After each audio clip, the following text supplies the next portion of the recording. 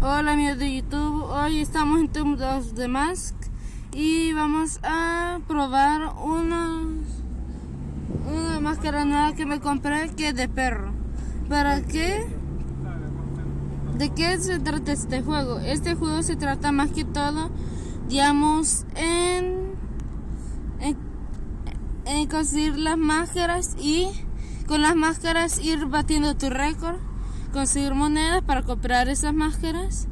Y claro, también tiene sus trampas. Esas púas azules que ven en las paredes, en el piso, esas son las trampas. Y esas trampas, claro, nos matan. Pero también hay no solo ese tipo de, de trampas, sino que hay diferentes tipos de trampas. También este juego te ayuda un poco porque en los puntos, esos puntos te pueden guiar un poco, pero no siempre al lado correcto. Veamos, y, y dependiendo en qué nivel estés, van a ser las trampas. Digamos, este es el nivel 1, ahorita pasamos al nivel 2 y va a ser completamente diferente al 1. Y es que, ¿por qué? La secuencia es diferente, entonces en, en vez de esas trampas se hacen otras trampas pero más difíciles como esos pez globos que se inflan y se desinflan. ¿Para qué? Para confundirte y, y tienen una secuencia donde se encienden o se apagan. ¿Qué es lo que te va persiguiendo? Es la lava. Esa lava te va persiguiendo para que no para que no te detengas tantas veces consiguiendo los puntos porque si no, el juego sería más fácil. Ya solo tener cuidado con las trampas y poder devolverse o no devolverse. Pero, pues sí, ese pequeño detalle también está en los puntos extras que se encuentran en las paredes. Ojo, estén atentos, digamos, cuando ven una estrella en la pared o algo así. Ahí, ese te puede dar puntos o más monedas. Lo único que es como un mini juego de este juego.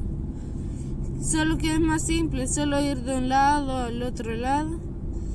Y, y pues como yo digo, te hace ganar puntos y al mismo tiempo monedas. Ahí te persiguen o cierras o te persigue la lava. siempre te persigue algo para que no te, te detengas así.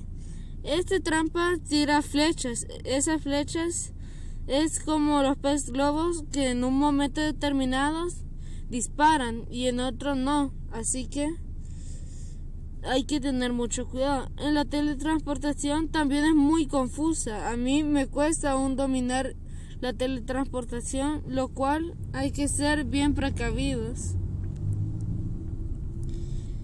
Veamos. Casi rompo mi récord. Era de 3600. 4617 es mi récord. Solo estaba haciendo de, batirlo. Pero este juego también es de estrategias, digamos, para poder hacer, para sobrevivir y evitar trampas. Es, es cuando uno viene y esquiva las trampas. Y también es como tipo laberinto que te confunde un poco. Estas son las otras trampas que le está hablando de que no había un solo tipo de plan trampas. Estas trampas se activan rápidamente, así que uno tiene que ser muy ágil a la hora de esquivarlas, ya que si uno se mantiene mucho tiempo en el cuadrito, este salen las púas y te matan. Así que hay que ser muy ágiles a la hora de hacer eso. Esos teletransportadores también confunden a la hora de teletransportarse. Y también hay que ser muy ágiles a la hora de, pasar por los globos, por pasar en las, cosas que tiran flechas, para que pueda sobrevivir. Y claro,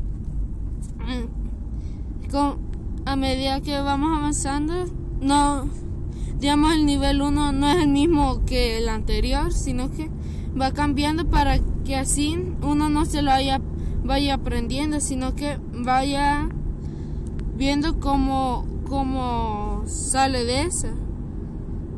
Ay, qué regada. Perdí un gran montón de puntos. Bueno, entonces uno tiene que llegar y, y hacer su estrategia, o sea, no, no tenerla prevista, ya que los mapas van cambiando a medida que, que, van, que le damos jugar arcade, jugar arcade. Entonces, el nivel no, nunca es el mismo.